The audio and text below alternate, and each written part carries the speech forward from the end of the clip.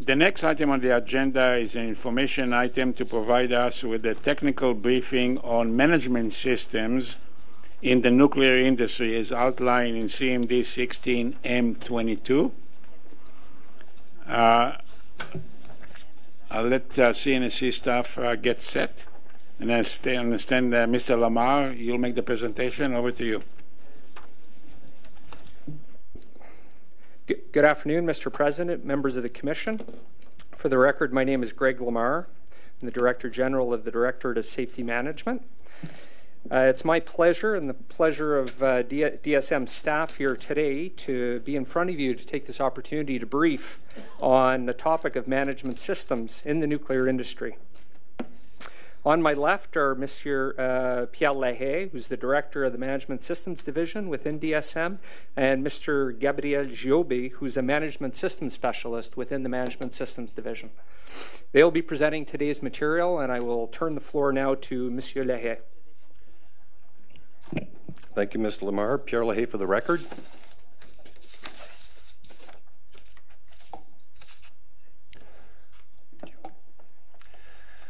The CNSC has continued to evolve its understanding and expectations related to licensees' management systems since its introduction into the regulatory framework in 2009.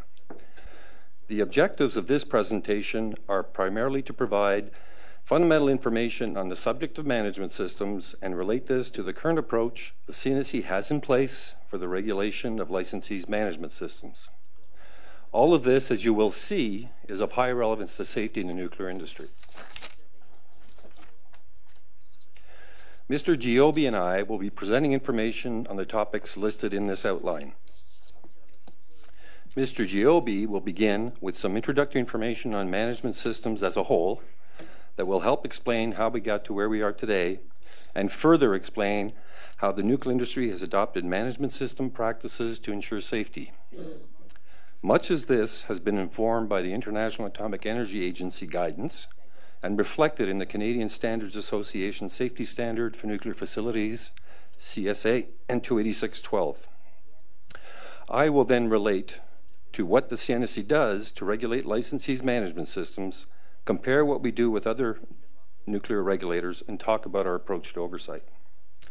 We will conclude with a quick view of what is anticipated in the near future in the area of management system development, as well as some key messages from this briefing. I will now hand over to Mr. Giobi, who will proceed with the presentation. Thank you, Mr. Lahaye. Good afternoon, Mr. President and members of the Commission. My name is Gabriel Giobi, and as Mr. Lamarre stated, I'm a Management Systems Specialist in the Directorate of Safety Management. There are many definitions of management systems in standards literature. For example, the ones developed by the standards organizations identified here. The wording in the second bullet captures the essence of these various definitions as it speaks to all tasks required to achieve objectives. The word task includes any activity, as simple as making a decision, to the complexity of a large program. Management systems and standards are modeled on the Plan Do Check Act approach, originally developed for quality and commonly referred to as the Deming Wheel.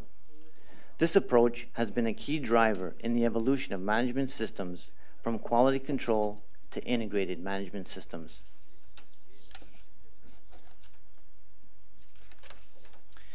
Since early history, quality control has been associated with verifying that an item has met a specification. This was the primary means of meeting requirements. In time, this was seen as risky and wasteful. With that in mind, the concept of quality assurance became, became widely practiced as a means of ensuring processes delivered expected results consistently. This was accomplished by incorporating practices that enabled better management and control of processes. These practices were further evolved into the broader quality management approach, often associated with total quality management, where quality assurance principles were applied more broadly and at higher levels in the organization. Today, we're at the phase where a single management system can be implemented that incorporates quality control, quality assurance, and quality management principles to achieve all of the organization's objectives. An integrated management system is a means by which an organization, through the systems approach, implements practices that are applied across an organization to achieve all of its objectives and meet requirements. The blue Venn diagram at the center of the slide serves to illustrate how the principles of quality control, quality assurance, and quality management have served as the building blocks of an integrated management system. This evolution has seen the accountability of management systems shift in practice from the quality organization to top management. It is important to note that in keeping with this evolution, the IAEA and CSA standards on quality assurance for safety related systems and activities have evolved to management system standards that integrates all requirements while maintaining safety as the paramount consideration.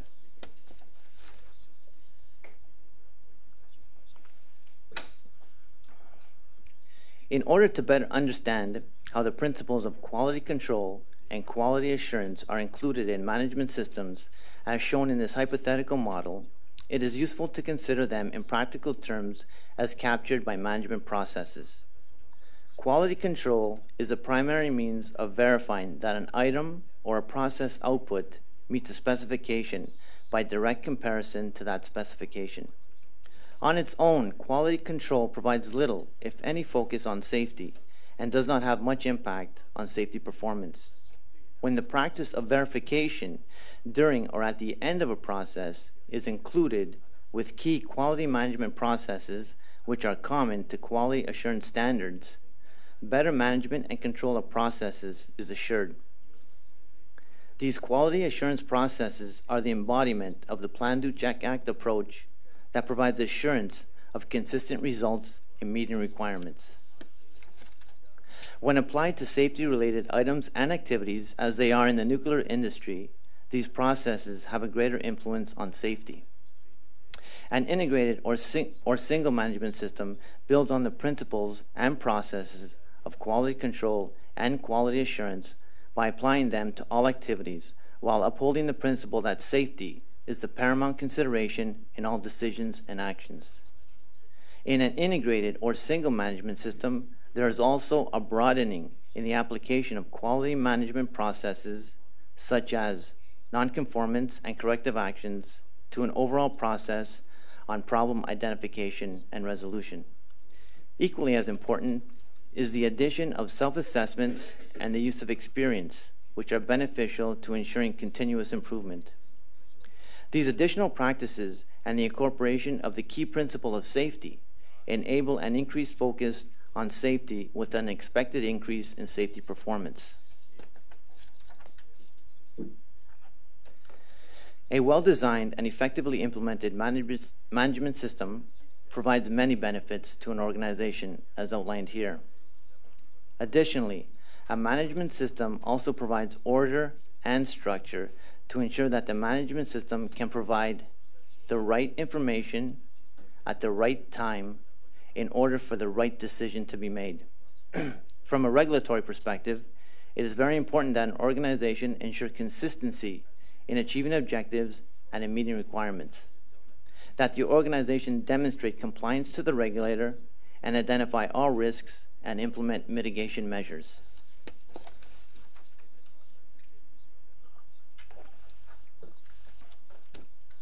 A management system is typically modeled on a standard which identifies various requirements.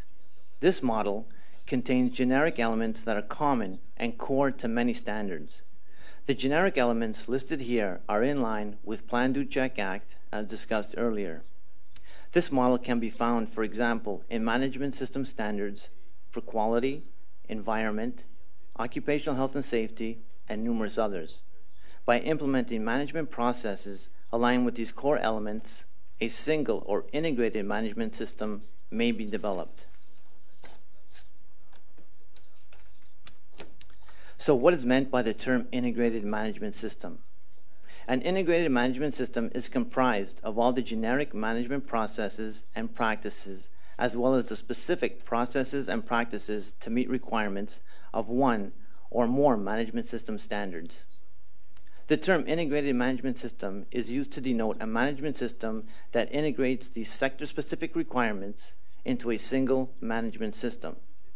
This illustration is an example of an organization that needs and wants to meet the requirements for quality, environment, occupational health and safety, and security. An organization can choose to manage these activities separately, as shown by the middle grouping, or an organization can choose to consolidate the generic requirements into a single set of management processes which are applied to all the specific processes aimed at achieving the various requirements, as shown by the larger circle on the right. One very important benefit in consolidating or integrating the management system is having the management ability to assess and improve on all objectives in an integrated manner.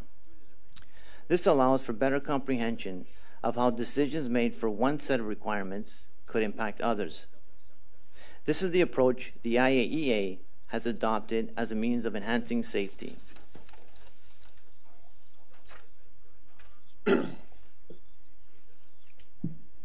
The IAEA document titled Fundamental Safety Principles is a central set of expectations within the IAEA's framework of safety requirements and safety guides. Principle 3 of this fundamentals document highlights the expectations of a management system in that leaders are engaged, the management system is effective, it integrates all aspects of management for safety, promotes a safety culture, provides for assessments of performance and the use of lessons learned from experience. These management system expectations were further explained in the Safety Requirements Document, GSR 3. The IAEA published the safety standard GSR 3 titled The Management System for Facilities and Activities in 2006. Since its publication, it has been adopted by numerous member states as a management system model. GSR 3 requires that an organization integrate the requirements for safety, health, environment, security, quality, and economics into a management system. This is to ensure that safety is, prop- is properly considered in all activities by giving it paramount consideration. As an aside, we should mention that the IAEA also expects member state regulators to adopt GSR 3 as the guidance for their own management system.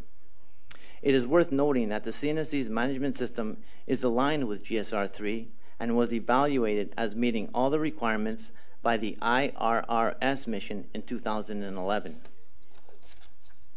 The CNSC understood and accepted the benefits of this approach for the regulation of licensees' management systems and adopted it in 2009 when the safety and control area of management systems was introduced into the regulatory framework. This was an evolution from the previous requirement for quality assurance.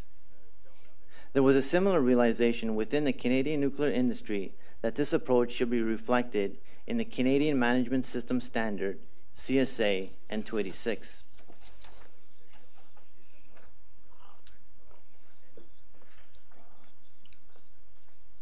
The CSA N286 12 standard, titled Management System Requirements for Nuclear Facilities, was published in June of 2012 and has been adopted by the, by the CNSC as the standard of reference for all Class 1 and uranium mines and mills licensees. This latest version of N286, prepared and accepted by a cross section of the Canadian nuclear industry, is the first to have its scope expanded beyond nuclear power plants. It is aligned with the principles of the, of the IAEA guidance and represents industry's best practice. The N286 standard integrates requirements from other management system standards for quality, health and safety, environment, economics, and security.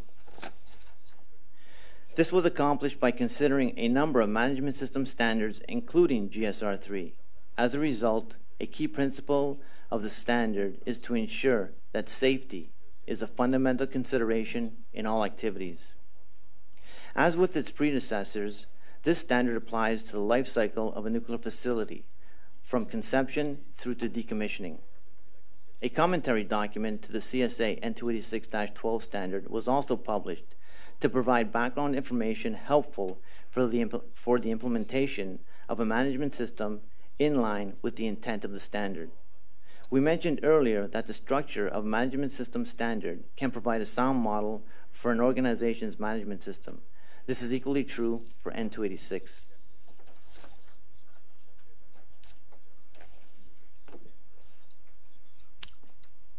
As shown by the triangle on the left side, the CSA N286-12 standard consists of a set of 12 principles supported by 12 generic requirements and a set of specific life cycle requirements classified by facility type. The structure of the N286-12 standard is simple, yet provides for a comprehensive application of management system principles in all activities.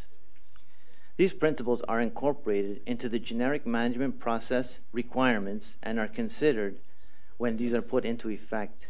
Both the principles and the supporting generic elements apply to the lifecycle specific requirements. This structure aligns well with what is considered a typical or ideal management system, as depicted by the triangle on the right.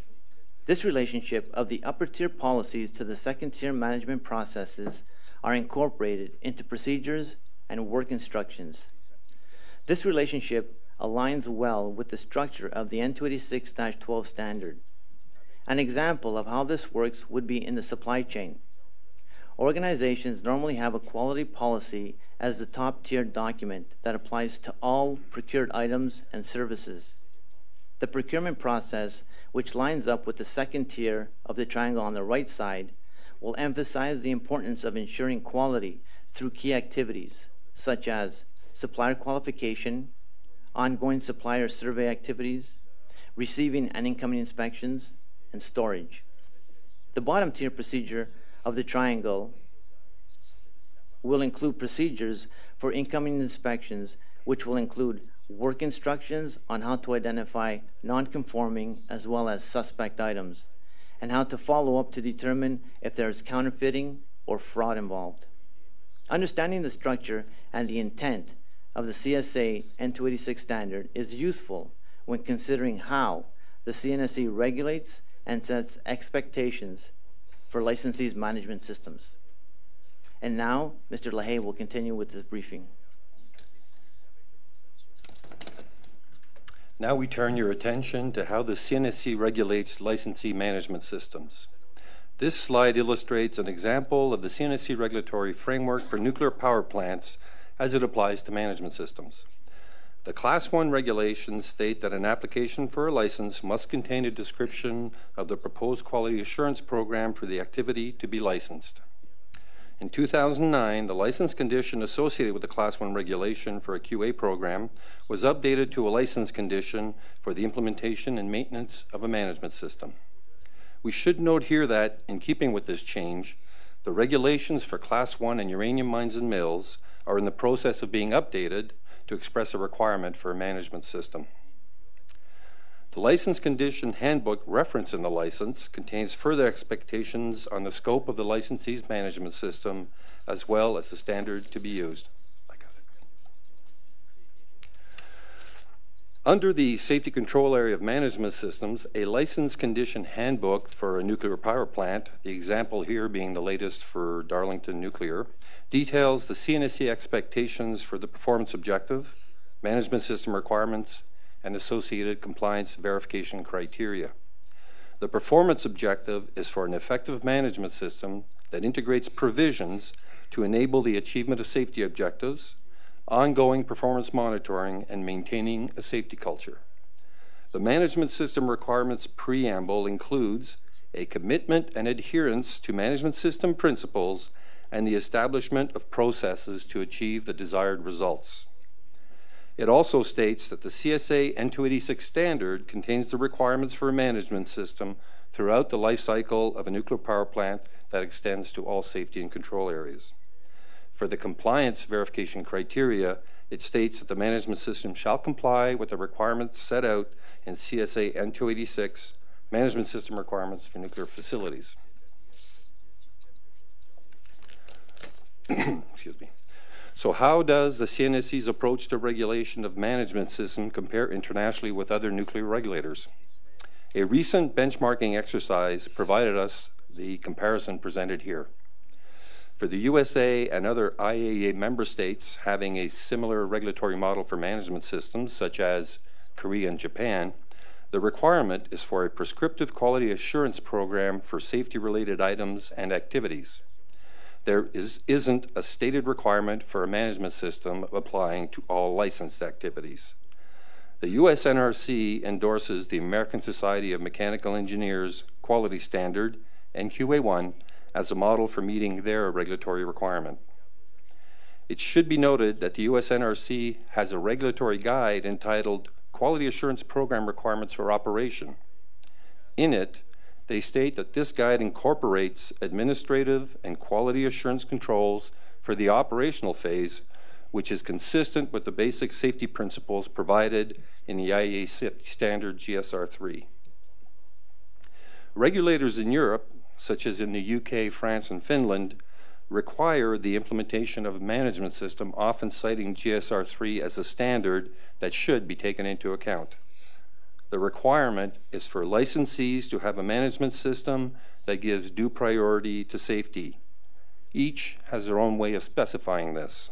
For example, the Office for Nuclear Regulation, ONR, in the UK, state that the licensee shall, within its management system, make adequate quality management arrangements in respect of all matters affecting safety, and that these arrangements be based on current national or international quality management system standards.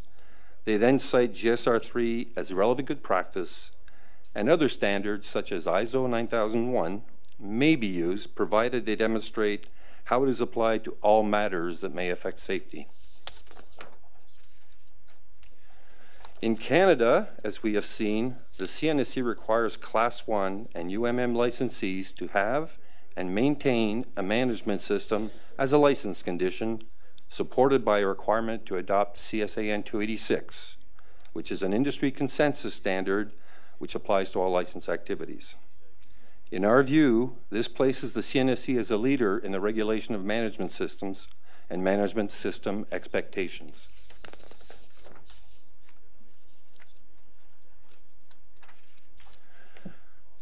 One way of visualizing the CNSC expectations for licensee management systems is to view the management system as the umbrella which governs all license activities. The management system standard is often referred to as an umbrella standard. Licensees are expected to implement and control activities aimed at fulfilling the requirements of various standards and reg docs in accordance with their management system.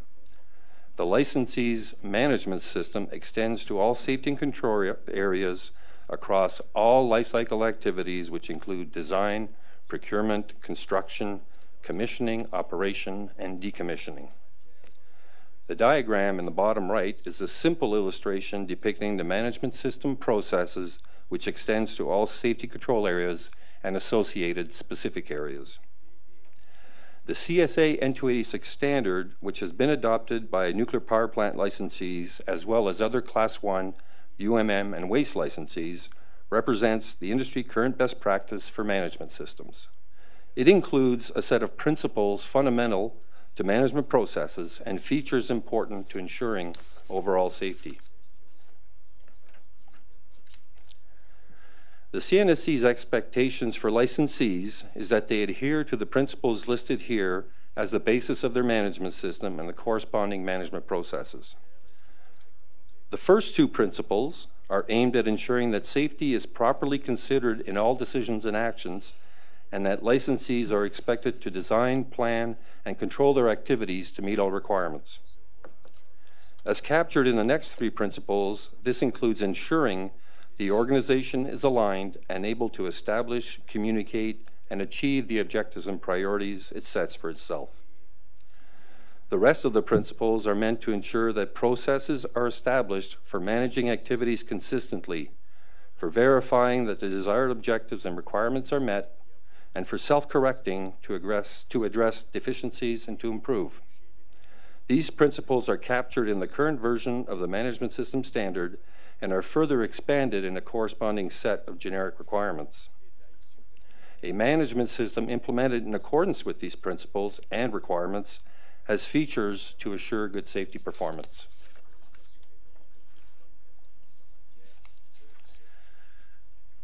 The current best practice for management systems in the nuclear industry is to have features conducive to the management of activities for good safety performance in meeting objectives.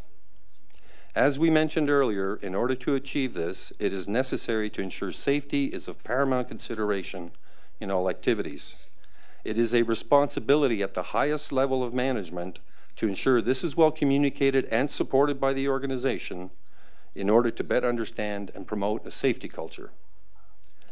Organizations should develop a single management system that integrates all management system requirements, as this contributes to optimal performance by emphasizing that all activities and decisions can have an impact on safety.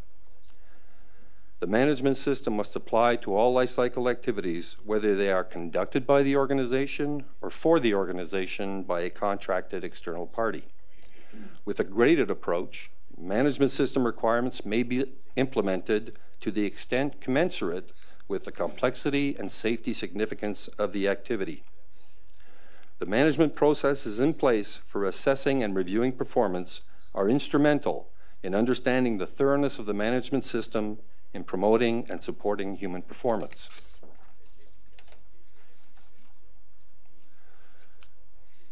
The relationship of the management system to safety culture and human performance is key in delivering good safety performance. The management system sets expectations for and supports human performance and safety culture by providing the mechanisms by which an organization can plan, do, assess, and correct its activities to meet requirements and improve on performance. In this way, the management system is the vehicle by which safety is managed performance is optimized, and safety culture is further enhanced.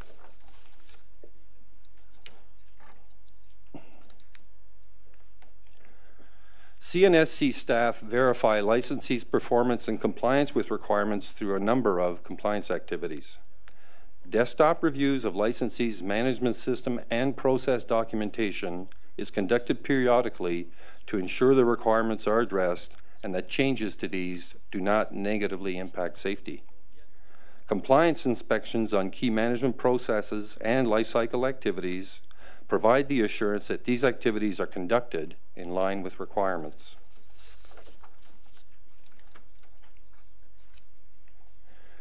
In many cases, inspections conducted on specific licensee processes capture information regarding generic management processes such as organization, information management, which is primarily document and records control, resources, as demonstrated through training, change management, and problem identification and resolution.